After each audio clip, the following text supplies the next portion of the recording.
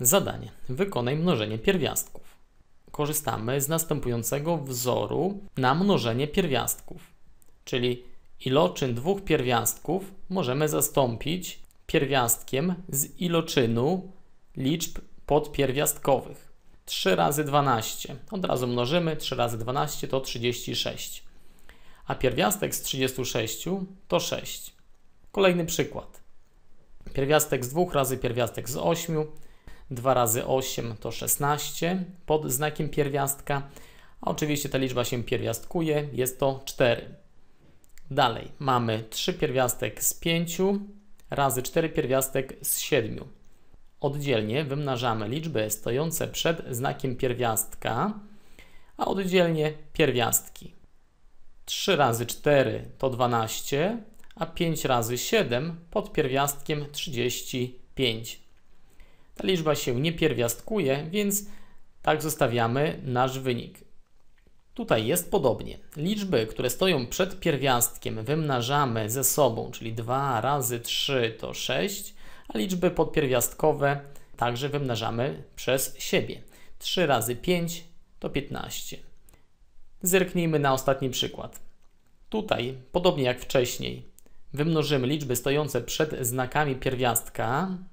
3 razy 2 i razy 5 to razem jest 30 a liczby podpierwiastkowe również wymnażamy przez siebie. 5 razy 2 to 10, jeszcze razy piątka to 50.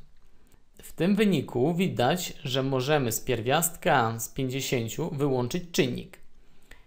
A więc 30 przepisujemy, to jest ta liczba przed znakiem pierwiastka, a liczbę 50 możemy rozłożyć na iloczyn liczb pierwszych. Dzielimy liczbę 50 na liczby pierwsze, czyli takie, które mają dwa dzielniki, 1 i samą siebie. 50 dzielimy na 2, 25, 25 dzieli się na 5, wynik to 5, 5 dzieli się już tylko na 5, to jest 1.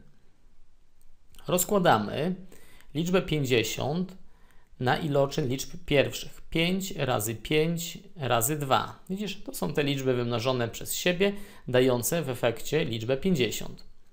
5 razy 5 to jest 25, a pierwiastek z 25 to jest 5. Czyli rozumiesz, z tych dwóch pierwszych liczb otrzymujemy piątkę, którą wyłączamy przed znak pierwiastka. A ta dwójka się nie pierwiastkuje, zostaje pod znakiem pierwiastka. W efekcie otrzymujemy 30 do przepisania, a ta piątka przed znak pierwiastka. I pierwiastek z dwóch przepisujemy. Teraz wymnażamy jeszcze 30 razy 5, 150 pierwiastków z dwóch.